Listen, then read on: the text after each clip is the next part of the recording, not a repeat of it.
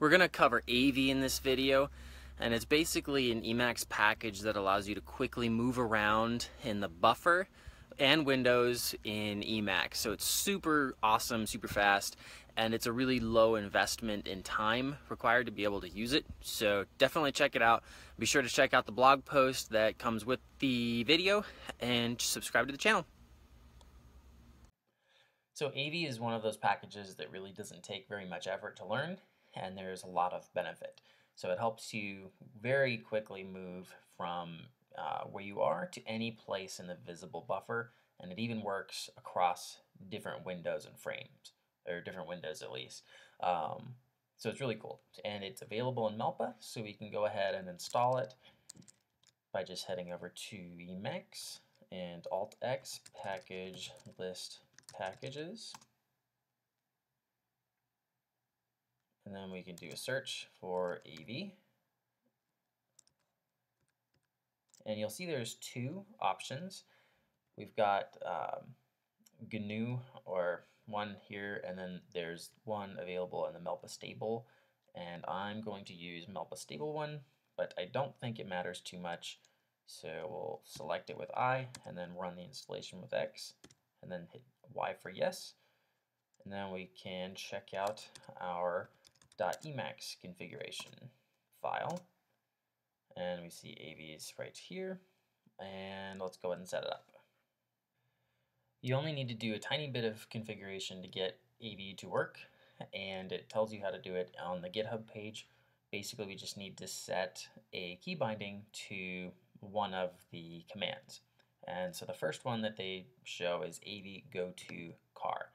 So we can basically copy this and I'm going to set it to what they recommend or what they're using, which is control colon, and that will set up Avy go to car. So we'll paste it here and oops, save the file and reevaluate the buffer so we can run the command and we'll give it a try. So control shift colon and then you'll see it says car. So now we can type a letter, let's say G, and it'll give us all of these different options. So now we just have to type whatever we want, and it'll take us to that character, so H. And see now my cursor is here.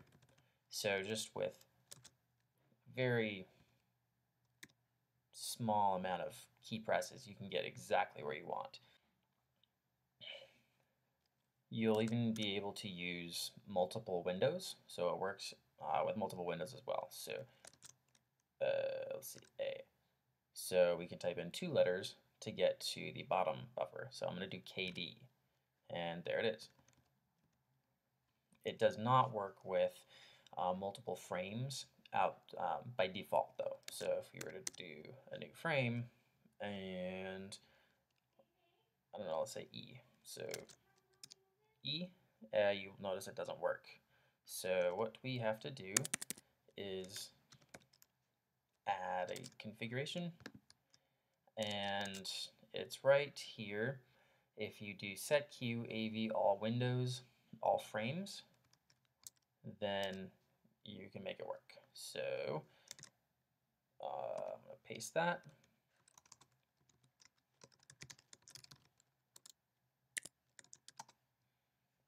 And eval buffer. And now let's give it a try. CX52 and there we go. Now it works. So my uh, cursor is here. Let's make it go here with LK. And there it is. The rest of these options are basically just alternative methods to um, getting where you want to go. So there's Avy go to car 2 where instead of typing just one letter, you type two letters. And the benefit of that is it gives you less options. So if you have a lot of the same stuff, uh, that it can get pretty messy with all the um, options that you would press. So you may like having to type two characters. There's also the Avy Go-To Car Timer. A lot of people prefer Avy Go-To Car Timer, because it allows you to type as much or as little as you want rather than just typing one or two characters. And then it has a timeout that will take you there automatically if there's only one option. So I already went ahead and set it up and restarted Emacs with control um, hyphen colon for the timer function and I set the timeout to four seconds with this line here. And so once you do that, you can give it a try. So we'll do, uh, we'll type in the car and then we can type in as much as we want. So let's say, you know, global hyphen S. So you wait four seconds and then it takes you there automatically. So, and if there's more than one option, you just type in E and it'll show all the E's available. And then the next step would be to pick the one that you want. But again, what's nice is it'll take you there automatically or it'll allow you to pick your options. And then if you get done before the timeout occurs, you can just hit enter. So I can do, uh, let's do setq. So set queue. And then I've got multiple options, so I just hit enter. And then I can choose which one I want to go to. So using the timer, a lot of people prefer that one. And I think I do as well, but it's just a matter of experimenting and seeing which one you like best.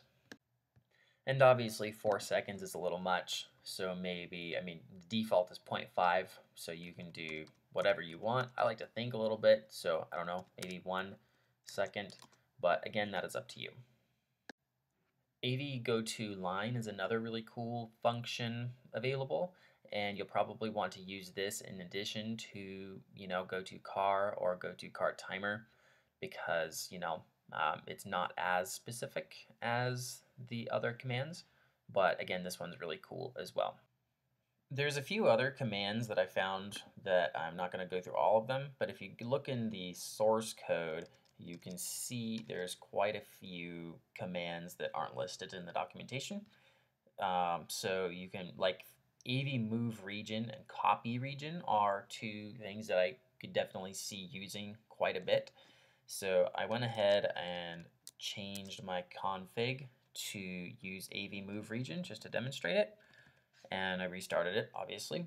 So let's go ahead and see what this does. So if we do the command, the key binding for Avy move region, then we can select two different lines. So I'm going to do KK for now. And then it asks for the next line. And I will choose LG. And it just took all of the selection between the two lines that I selected and moved it to the top of where the cursor was. So it just basically cop, um, cut and pasted to where the cursor was. So this could be super helpful when you're trying to move code around and it works in bet between frames, windows, and buffers as well, which makes it even more awesome. But you may have issues because it won't work underneath what is the visible buffer, so it only works with what you can see currently. So that may pose problems. But play around with it and maybe use a combination of different packages or just search around and see if there's, you know, a way that you can make it work. The last thing I'll cover is iSearch, and the best thing to do to set this up is just to use the Avy hyphen setup hyphen default. And I already did that in my Emacs config here.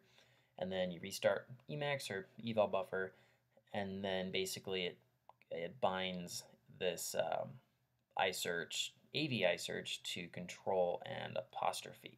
So what you'll do is you can run a search with Control S and then maybe do something like uh, uh, global, I guess, and it's a failing search because it's at the bottom, but we can see that it's finding them up here. And so once you have a search term, you can press Control apostrophe, and then it'll allow you to select an option. So I'll just do S, and then it takes my cursor to that option.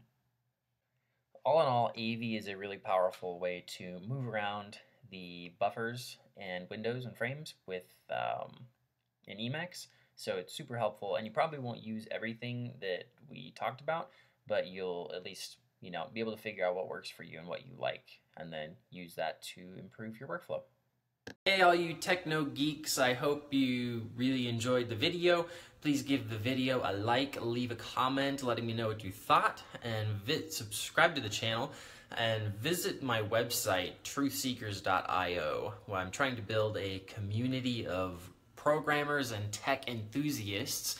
I've got all sorts of stuff like learning to code challenges, tutorials on teaching you how to code, and a bunch of other stuff. So check it out and see what uh, what's there, what's cooking over there. So have fun, everyone. Enjoy the rest of your day.